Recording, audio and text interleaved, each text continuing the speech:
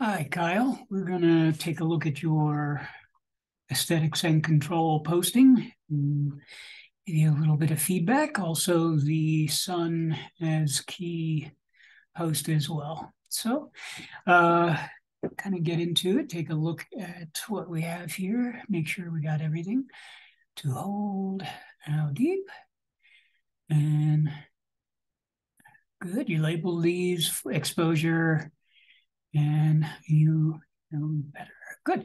All right. Well, these four um, in these uh, in this experiment, these four components, they're really uh, they kind of go together um, in terms of the progress. You go start off with the shutter, and then you move to aperture, and then the third one with the exposure is really a combination of the two, where you're asked to sort of move uh, one and then uh, adjust the other to compensate. And then, of course, the you know better, what we're talking about here is uh, more or less taking advantage of all of the things that we've been working out in um, throughout the uh, semester, and they're just kind of exploring um, maybe an aesthetic that's that's closer to what um, you're interested in, um, rather than just simply uh, performing exercises. So to hold, um, what we're getting into here is shutter speed. Now, a thousandth of a second, a half a second, those really don't mean anything.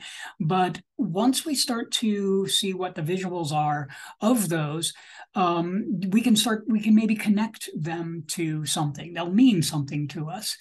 Um, one of the things that sometimes can happen, however, uh, when we're doing, like, for instance, a thousandth of a second, um, and I'm going to try to maybe find the ones that you did at a thousandth here. Um, this says a thousandth of a second.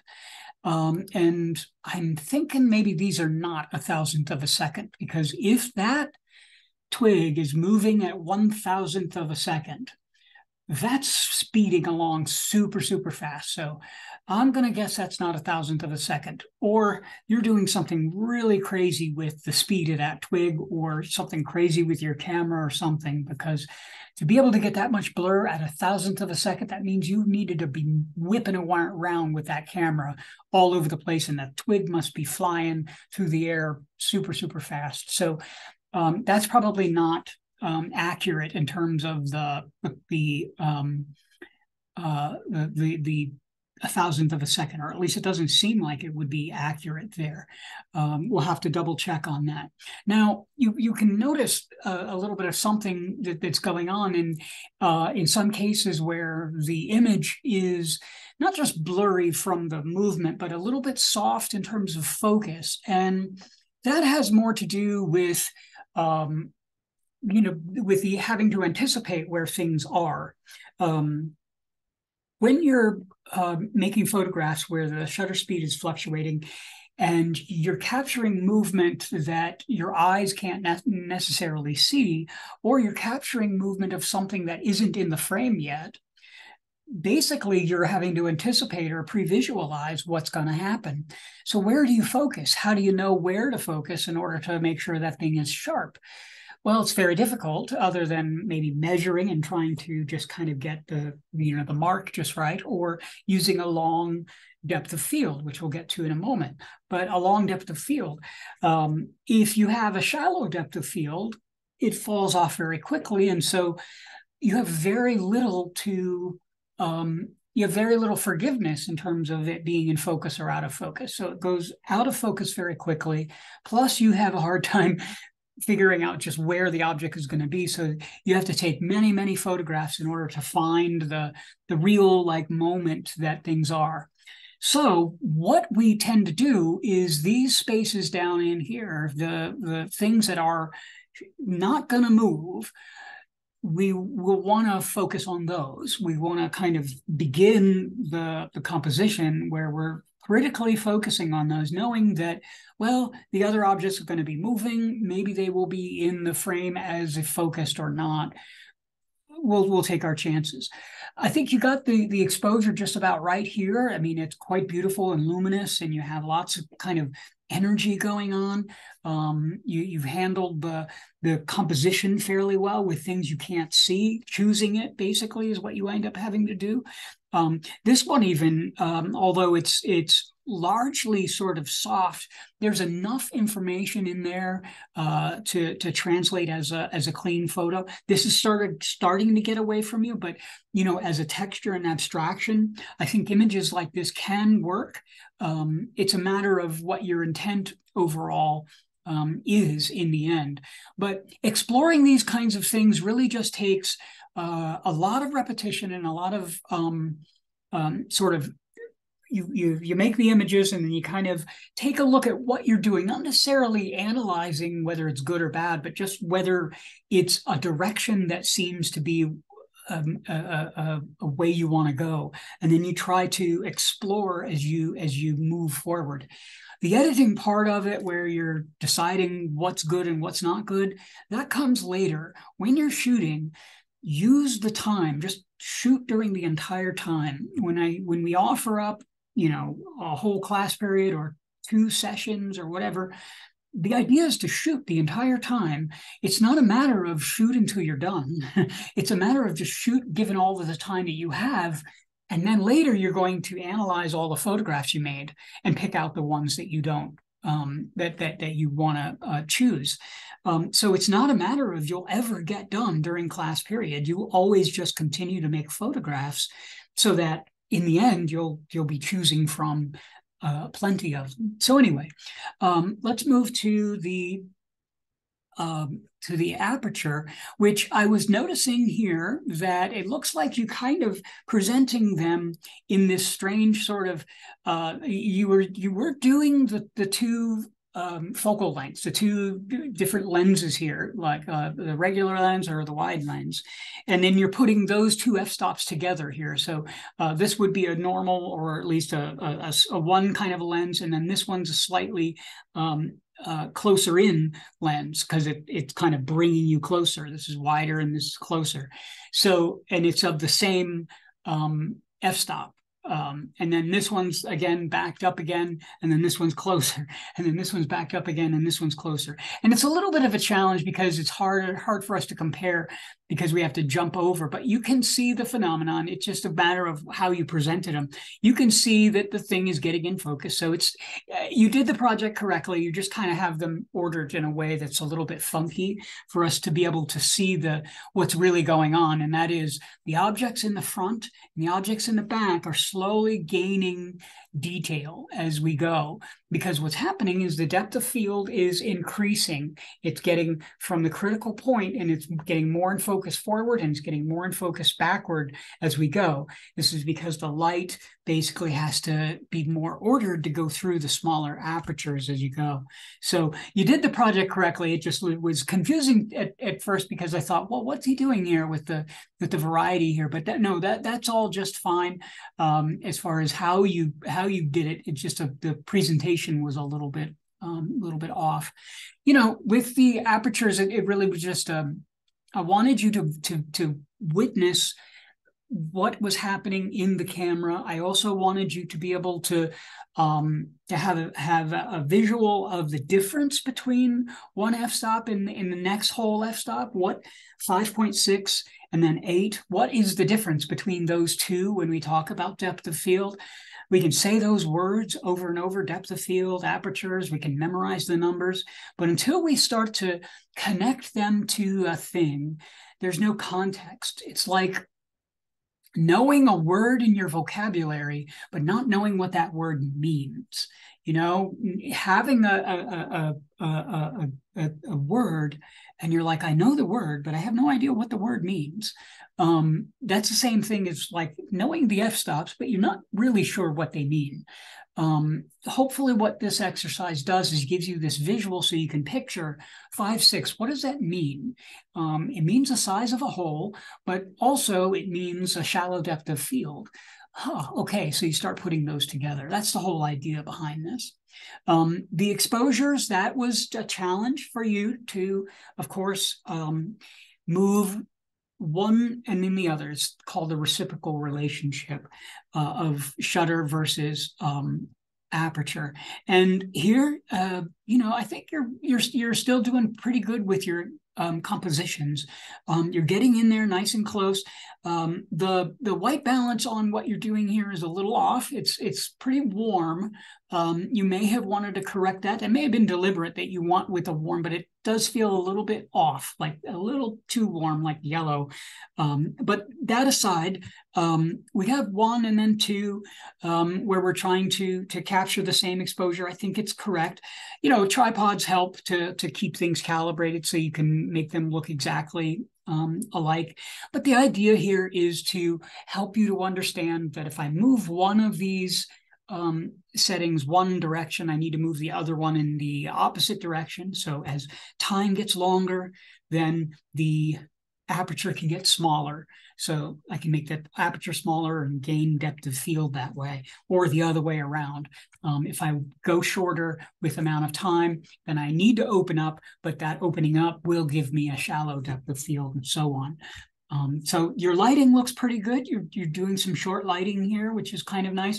We have some, you know, business back in here, which, you know, we want to start to, we want to really pay attention to that. You don't have it here, you don't have it here, but then here we have a little bit of that um, background information noise. Um, you kind of corrected it a little bit here where we don't have it, but we want to pay attention to those things. At the very least, know that, um, your camera is going to include that. And so even if you can't see it in your viewfinder, starting to realize that the camera is going to have that because you may not have seen that um, in your viewfinder because your viewfinder may not necessarily be showing you the whole picture. Um, it may be cropping it just a little bit in, in terms of what you see. So starting to learn that what what how much is it going to give me it's going to give me this little bit of extra over there maybe i want to take care of that um, so that it, it doesn't show up that way. So in the you know better, um, this is this is a is a sandbox. I wanted you to really just kind of explore, um, and you took the single object um, and kind of playing around with it a little bit. Um, I, I'm I'm curious as to to really what you're um, you know what you're after here. Um, what is it that you are um, really interested in? What's important to you here? Um, what are you wanting the the audience to to really get out of these? What do you want? What are you trying to get out of these? What are you asking photography to do for you here? Um, I mean, I think this is an interesting intro. Um, it almost seems like we're doing some sort of a narrative here, um, but it, you know, I think there's so little going on that some variation in that light. Um, when you have something like this, where it's a single object like this, you're almost setting up like a monologue. Like think of it like a play with a single actor up there. You know, they're going to have variation in their tone and their their language and how they speak, and maybe they'll have a small gesture or something like that. But um, that's going to give variety to it. Well, your your skull here isn't going to have that advantage of talking so you'll have to give it that variety and i think the light would have done done done you a, a favor here you're clearly you're moving around yes you're moving into the um, uh, around the side of it and kind of exploring on the other side and doing some um, subtle movement um, things here. This has some potential here with the kind of spirit photography almost. Uh, we have the ghost image kind of going on here. Um, however, I think you know, in terms of lighting, you know, this is a course on lighting and stuff like that. That really, uh, if you had explored more variety in the way that light was being, uh, was interacting here, that you probably would have had um, just more variety. You would have had more going on. Um, but that said, in order to do that, we must be very clear as to what we're trying to communicate. Um, and while I think these are kind of really interesting um, beginnings, these are sort of like explorations. Um, I, I, think they could go somewhere. I think this idea of the, the single object and then using the movement to kind of activate it we need to add something to it like the, the the kind of quality of light that's very that, that has variations in it from image to image to have them feel more dynamic like time is changing or something is evolving over the period of um, uh, of the of the series. So let's move to your um, your skylight or your sun I'm sorry your sun as um, key. Um, let's see where are those here um, tiles, sunlight is key. All right. So this will be the transitionary kind of um, uh, uh, experiment where I just had you guys um, starting to get outside to apply the, um, the, the the principles and some of the tool sets that we used um, in the studio to start to I guess, apply it in a situation where you don't have all of the control. Uh, you use the skull again here, um, more of a uh, the, the the sort of portrait uh, area where it's just sort of there. Again, I'm interested in knowing what it is about this that you're uh, wanting to communicate to us here.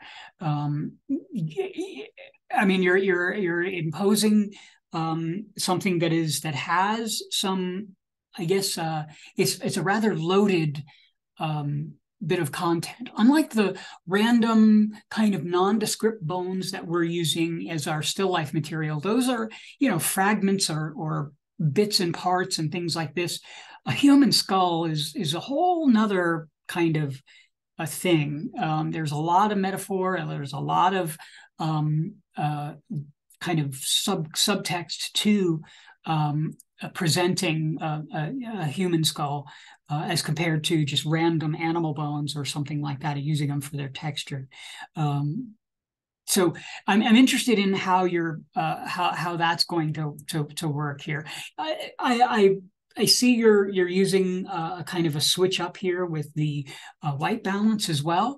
Um, compositionally, we're working a bit with the rule of thirds here.